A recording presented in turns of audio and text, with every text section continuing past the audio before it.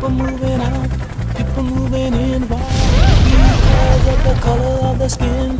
Run, run, run, but you sure can't hide. Rescue fire, Old Snake, Only person talking about 489 blood is the preacher.